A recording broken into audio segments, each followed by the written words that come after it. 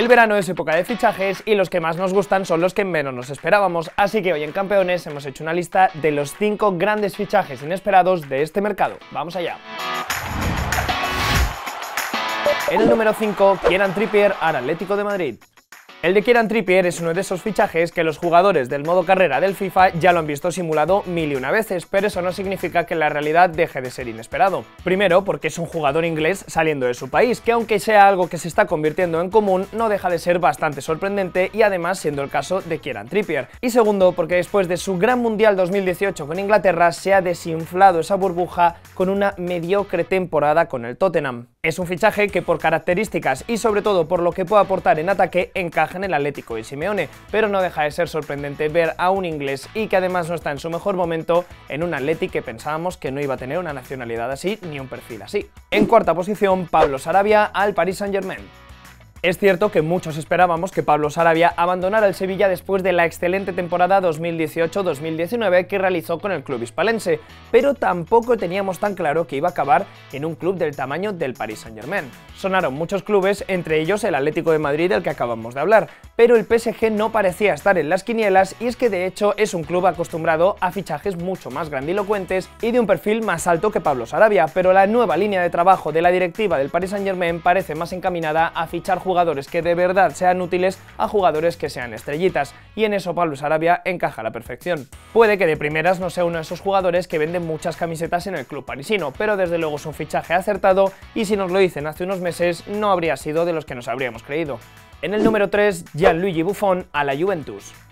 Cuando una leyenda se marcha del club de su vida a punto de retirarse para buscar nuevos retos, lo que acaba siendo bastante curioso es que regrese precisamente a ese club cuando nadie lo esperaba, y es exactamente lo que ha pasado con el portero italiano Gianluigi Buffon. Después de un paso por el Paris Saint-Germain en el que no ha conseguido el preciado trofeo que aún falta en sus vitrinas, es decir, la Champions League, Gianluigi Buffon vuelve a la Juventus en calidad de suplente para hacer banquillo y para ser uno de los pilares del vestuario en la búsqueda de ese trofeo continental que tanto a él como al que vuelve a ser su club, se le resisten. Buffon ya tiene 41 años y cuando en verano de 2018 abandonó la Juventus, lo que está claro es que casi nadie habría dicho que solo una temporada después habría regresado a la vecchia señora, así que sí, es uno de los más inesperados de la temporada. Segunda posición para Tanguy Ndombele en el Tottenham.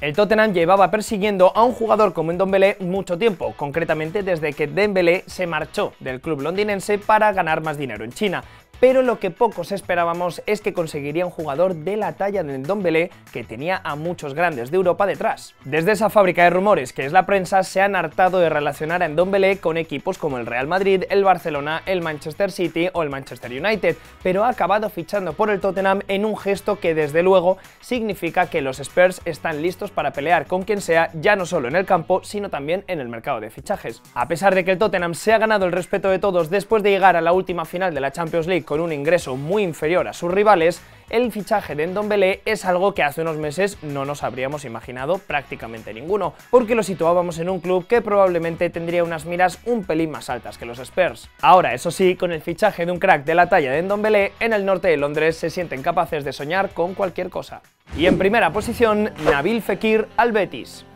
Tremendo ha sido tremendo lo de Fekir al Real Betis. Nadie se lo esperaba. En los últimos días, cuando se estaban concretando las negociaciones, seguíamos sin poder creernos que un jugador de la talla de Fekir, que brilló en el Lyon y luego estuvo a punto de fichar por el Liverpool, iba a acabar vistiendo la camiseta verde y blanca del Betis. Y al final, el equipo de Sevilla ha conseguido uno de los mayores éxitos en el mercado de traspasos de los últimos años. Después de despuntar en la liga francesa, Fekir se rompió la rodilla y desde entonces no ha vuelto a ser el mismo y de hecho viene de una temporada algo decepcionante, pero eso no quita que sea un fichaje de muchísima altura para el club verde y blanco, sobre todo ahora que está buscando asentarse año tras año en los puestos europeos. A pesar de sus problemas físicos y sus bajones de rendimiento, los rumores durante muchísimos meses e incluso años jamás lo habrían situado en un club como el Real Betis, que ahora se puede congratular de que tiene a un jugón que si recupera su nivel físico nos tendrá a todos enamorados en la Liga Española. Y por supuesto es sin duda el fichaje más inesperado de todos, porque a ver quién se habría atrevido a decir algo así